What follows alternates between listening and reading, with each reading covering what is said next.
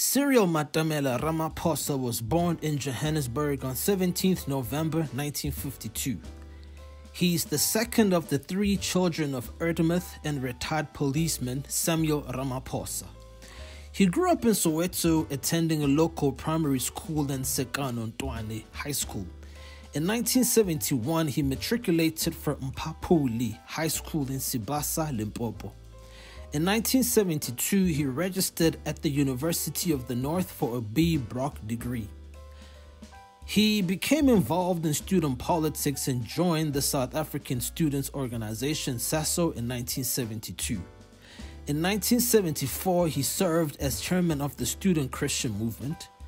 After the pro FRELIMO rally at the university in 1974, Ramaphosa was detained for 11 months under Section 6 of the Terrorism Act. On his release, he joined the Black People Convention BPC, holding positions on various committees. He obtained articles with a Johannesburg firm of attorneys while working for the Black People Convention. In 1976, following the unrest in Soweto, Ramaphosa was again detained under the Terrorism Act for six months and this time held at John Vorster Square.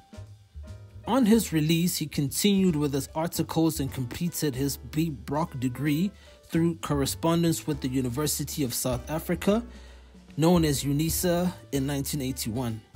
He completed his articles in the same year and joined the Council of Unions of South Africa as an advisor in the legal department. In December 1982, Ramaphosa became the first secretary of the National Union of Mine Workers. In July 1986, after the declaration of the state of emergency, Ramaphosa went into hiding after security police swoops on the homes and offices of the political activists. Ramaphosa was refused a passport to Britain in September 1987.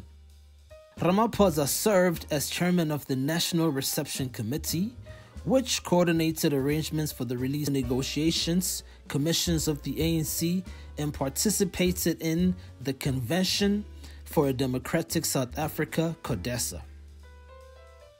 In May 1994, he was elected chairperson of the new Constitutional Assembly, a position he resigned in May 1996 together with that of General Secretary of the ANC.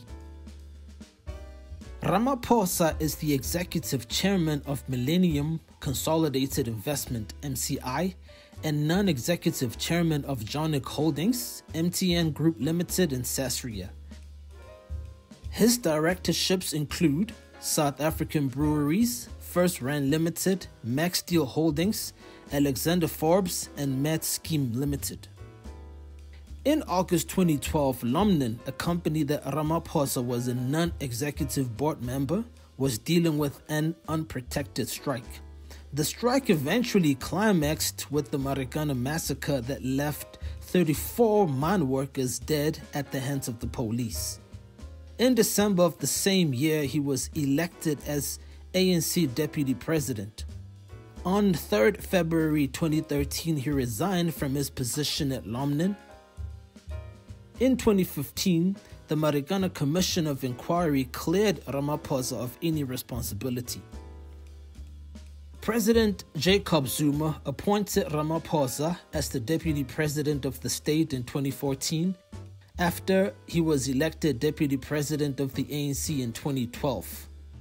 As a result of this, Ramaphosa resigned from a number of positions, most notably as chairman of the Shanduka Group Investment which he started in 1997. Ramaphosa was then appointed by the then president Jacob Zuma to the position of special envoy to South Sudan to act as a mediator in the conflict between different factions in South Sudan.